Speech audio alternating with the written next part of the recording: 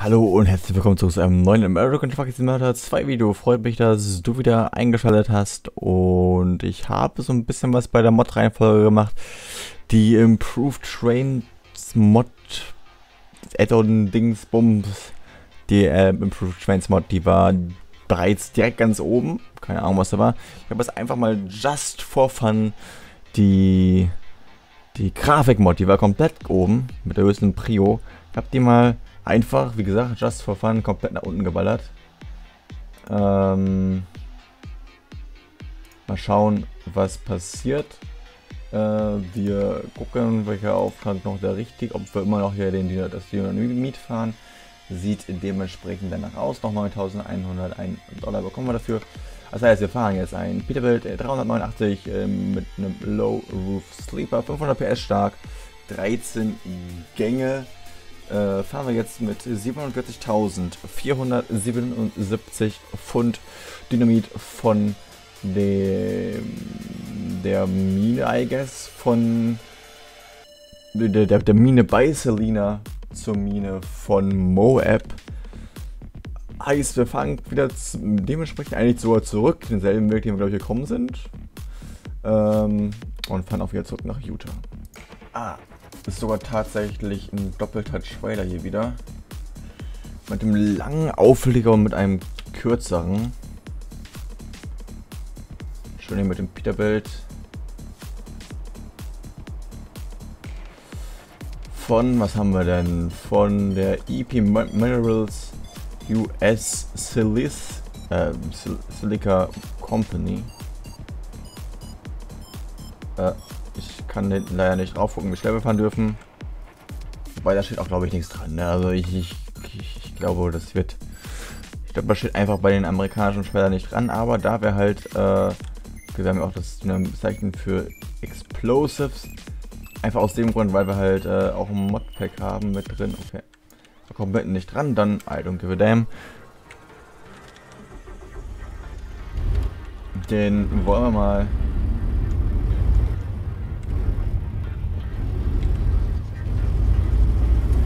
in die Nacht hinein. Das ist dann die erste Nacht mit der Grafikmod. Ich finde es auch nice, dass es irgendwie hellerer ist. Sonst war ja die war ja die Staub, war ja der Staub eher ähm, eher eher eher hell, also eher dunkel, also eher so ein dunkles, also ein helles Braun, sagen wir mal. Also ein heller Sand oder ein dunkler Sandton.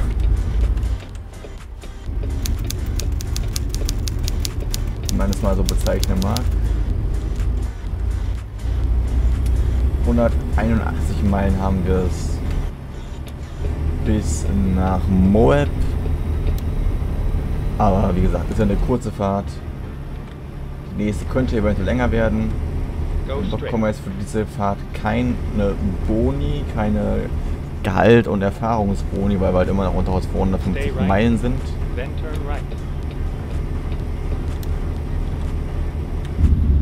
Wir haben keinen Retarder hier drin.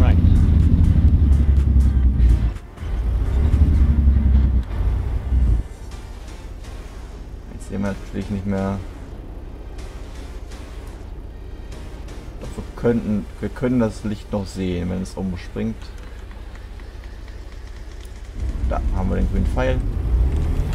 Ganz vergessen, ich habe ja hier in American Truck Simulator habe ich ja den Zoom einfach mal mit reingepackt. Oh Gott. Ich habe mich verfahren, ich bin falsch gefahren, ernsthaft? Einfach mal konsequent in die verkehrte Richtung gefahren. Läuft. Dann müssen wir halt mal hier eine Drehung machen. Dann drehen wir mal hier eine Runde. My bad.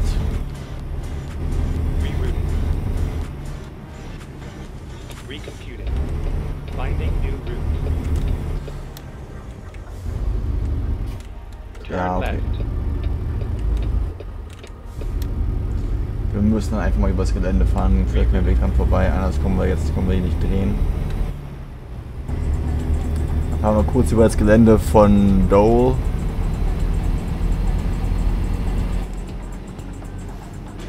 Mal schön mit Dynamit bei der Farm vorbei.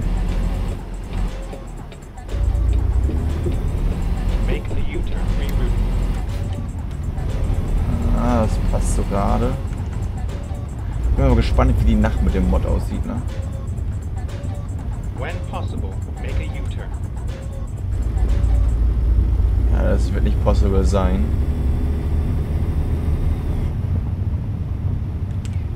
Ach du heiliger Bimbam. Finding new route. Please make a U-turn when possible. Das sollte passen. Vom Platz her, ja.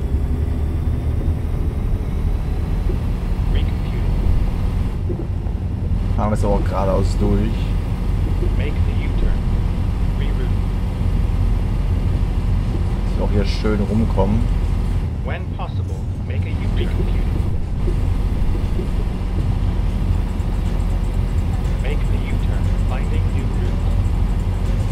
belastend. Turn left. Sind wir jetzt auch wieder auf dem richtigen Wege?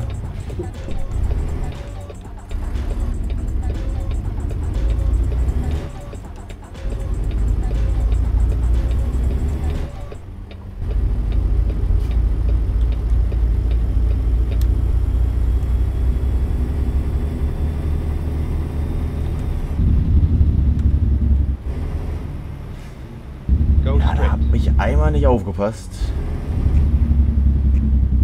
Und dann war man plötzlich falsch. Schön auch mit dem Walmart-Design auf dem Truck.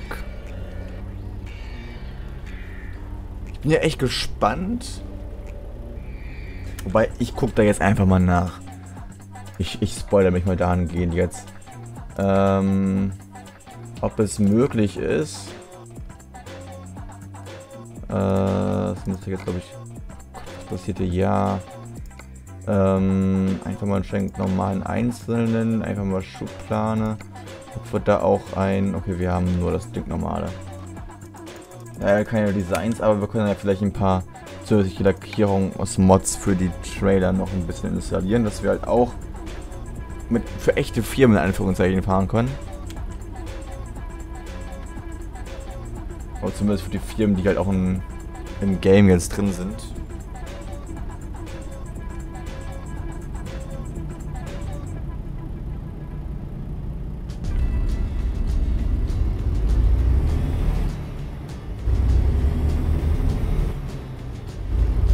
Wir müssen gleich, glaube ich, wir müssen sowieso auf die linke Spur. Die eine verengt wir jetzt hier.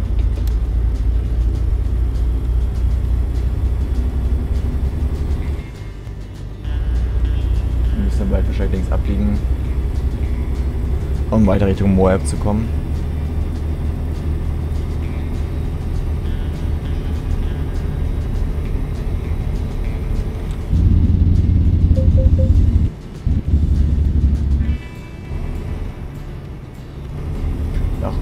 Warum auch immer hier 30 nur waren. Ne? Wir, hatten, wir hatten ein Schild, wo, wir, wo drauf stand, dass wir 45 fahren dürfen, aber kein Schild, wo wir 30 fahren dürfen. Hat mir auch schon auf dem Hinweg so. Was mich dann auch wieder so ein bisschen verwirrt hat.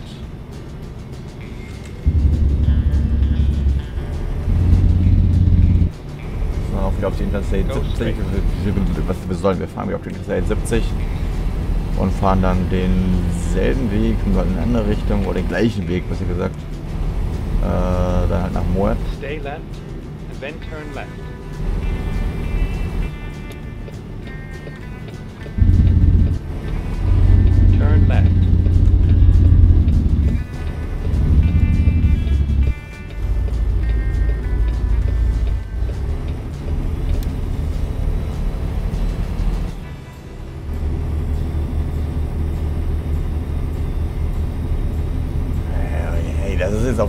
Interessante Nacht.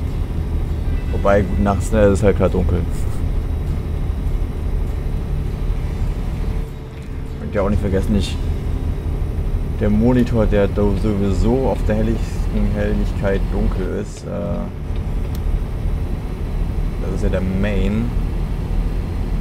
Aber ist schon stark dunkel die Nacht, aber nice. Jetzt einfach mal so ein bisschen auf dem anderen Monitor, wo ich ein bisschen mehr sehe. Aber dunkel soll es ja auch sein, ne? Muss man mal auch so sagen.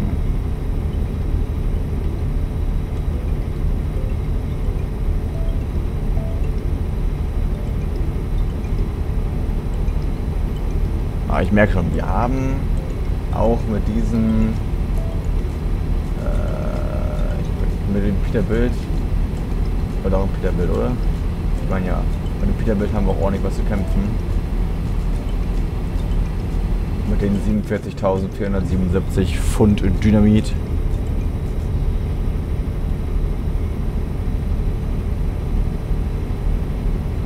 Müssen wir erstmal hier auf Tempo kommen. Wir hatten ja vorher etwas weniger, um nicht, um genau zu sein, sogar 11.000 Pfund, knapp weniger Gewicht hinten drauf mit dem Düngemittel.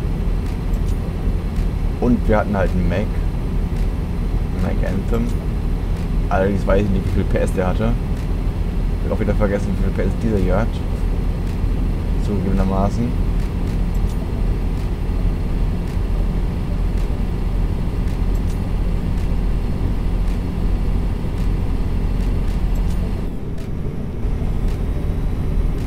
Aber wir haben halt, wie gesagt, etwas ordentlich, ordentlich was zu ziehen. Ordentlich was zu ziehen, aber gut, ist ja auch nicht so eine lange Strecke, die wir jetzt fahren. Noch 144 Meilen. 40 Meilen haben wir jetzt schon bereits hinter uns gelassen. In zwei Stunden sind wir dann wahrscheinlich dort, zweieinhalb Stunden.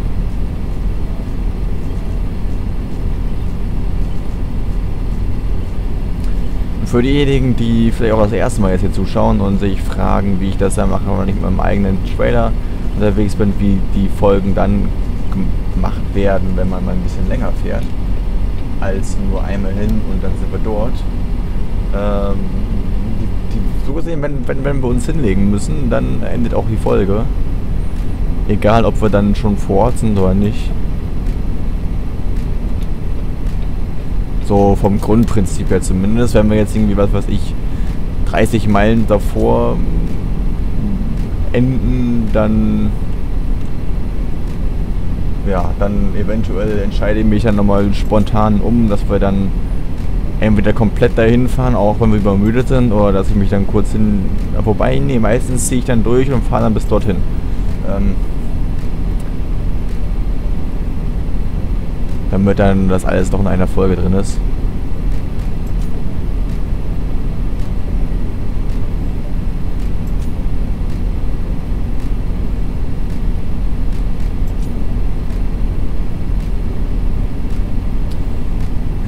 Möchte wieder raus. Wir haben noch 107 Meilen. Das ja in 70 wird jetzt.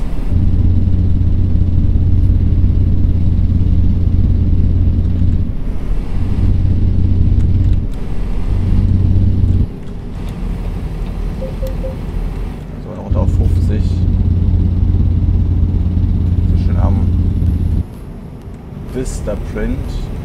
mein Vistaprint Trailer ist der ist, Vistaprint ist boah, beziehungsweise ist 4 Print das Äquivalent zu Vistaprint? So erstmal ganz spontan gesagt, könnte ich mir das schon vorstellen.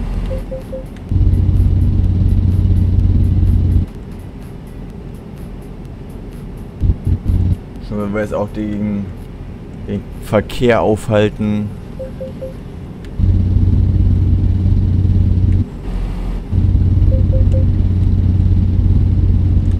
jetzt hier überholen. Können wir jetzt die KI uns auch überholen. Wir dürfen ja 10 Miles per Hour schneller fahren als wir. Wir dürfen, dürfen ja nur 50, wir ja nur 50. Die darf ja 60 Kilometer pro Stunde, ach, 60 Miles per Hour fahren.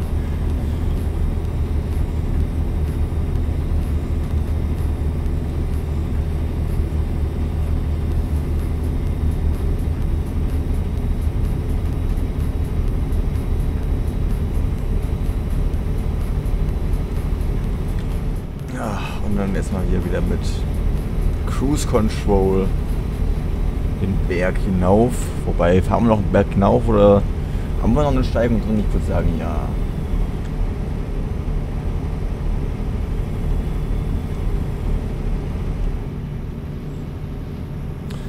So, noch eine Stunde. Wir sind da wahrscheinlich, ja, wir sind gegen Mitternacht sind wir dort. Wir dürfen jetzt auch wieder schneller fahren, aber wir, wir beschleunigen auf 80 Miles per Hour.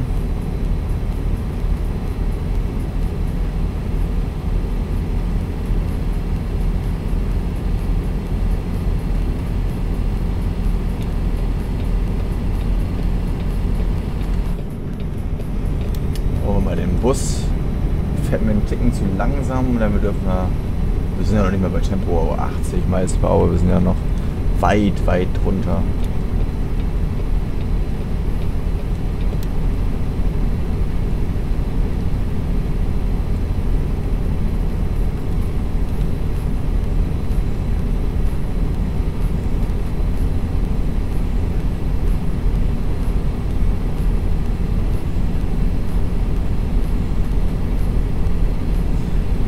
gespannt, wie das dann, wie, wie, wie, wie die Mod ist, halt, die, die Grafik-Mod, wenn es neblig ist oder wenn es regnet oder wenn es gewittert.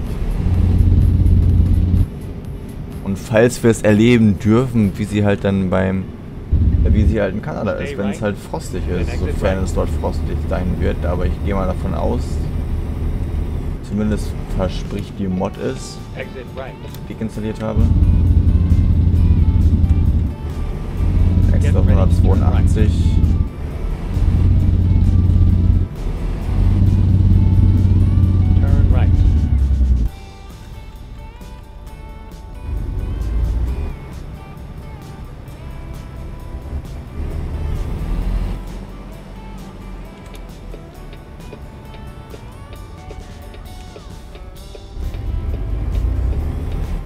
kommt nichts, kommt uns ein Volvo entgegen.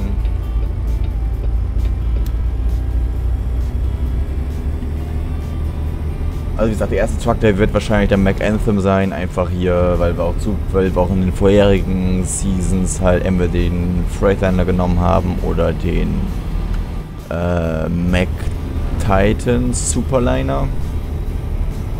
Deswegen würde ich einfach mal uns, würde einfach den Mac Anthem als erstes, als ersten Truck besorgen. In der Zukunft können wir den natürlich dann auch ersetzen, entweder mit einer Mod oder mit einem anderen Standard Truck. Bin ich komplett offen für.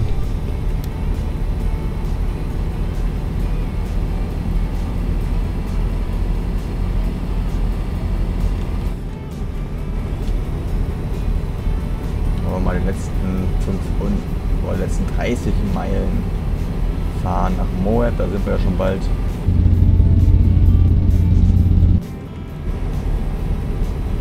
Gefühlt noch einmal abbiegen und wir sind dort. Stay right, then turn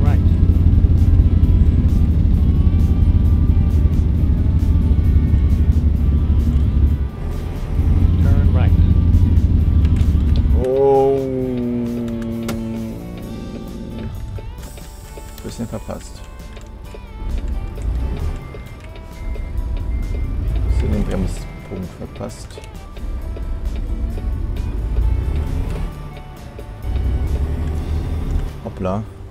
Ist auch eng hier wieder gerade mit dem scheiß Tisch.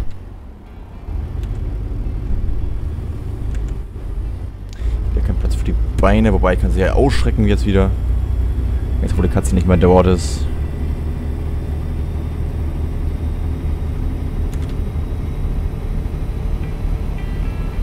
Ja, nochmal schöne, schöne serpentinige Straßen, um daraus mal ein Verb zu machen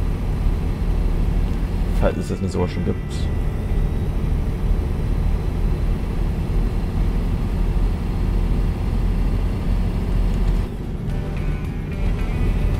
Bin auch echt gespannt, wie Mexiko dargestellt ist. Aber das werden wir alles irgendwann mal erleben dürfen.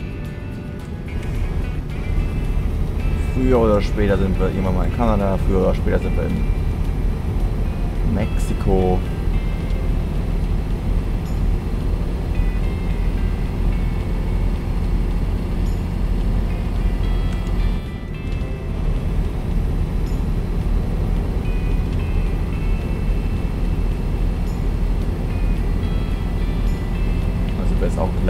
bei der Mine. Da müssen wir wahrscheinlich nochmal vorher abbiegen.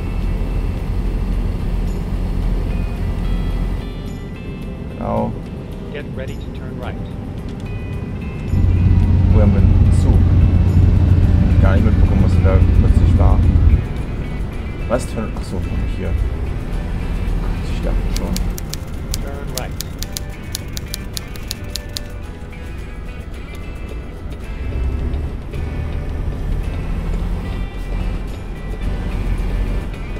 oben halt im Moab.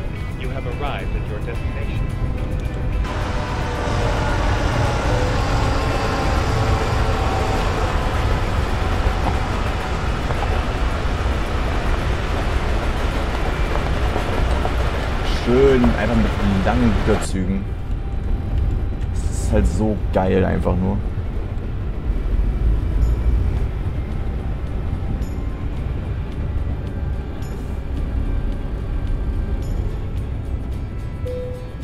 Haben wir die Fracht abkassieren, die 9000 und schauen danach nach, wohin die Reise als nächstes gehen könnte. Ausgezeichnete Dynamit von Selina nach Moab geliefert. Gefahrene Strecke 186 Meilen, Dauer 4 Stunden 20 Minuten, wir haben 39 Gallonen verbraucht. Bekommen dafür insgesamt 9.109 Dollar und 387 Erfahrungspunkte und sind ja, weniger als 200 Punkte entfernt von Level 3. Wir sind jetzt insgesamt bei 23.653 Dollar und wir schauen mal nach, wohin die Reise in der morgigen Folge gehen könnte. Oh, oh, oh, oh. Ich würde fast sagen, Feuerwerkskörper vom äh, von, von, von, von, von, von, von, von, von Colorado Springs nach Steamboat Springs für 14.000.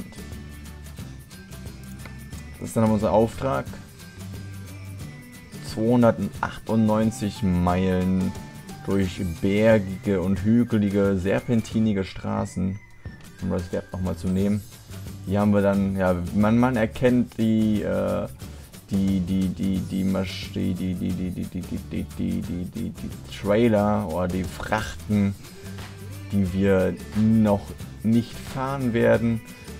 Äh, denn wir sind schließlich erst bewertet mit 0,8. Wenn das steht bewertet 10.0, was höchste Bewertung sein, äh, höchste Bewertung ist, ab dann werden wir dann die Aufträge, die Militäraufträge annehmen.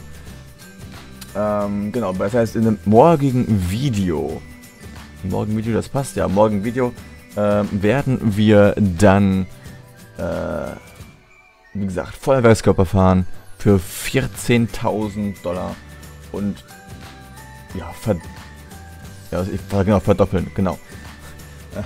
Verdienen dann damit die Hälfte, so gesehen, wenn wir unser Geld halbieren, dann verdienen wir damit, verdienen wir genau das Ganze.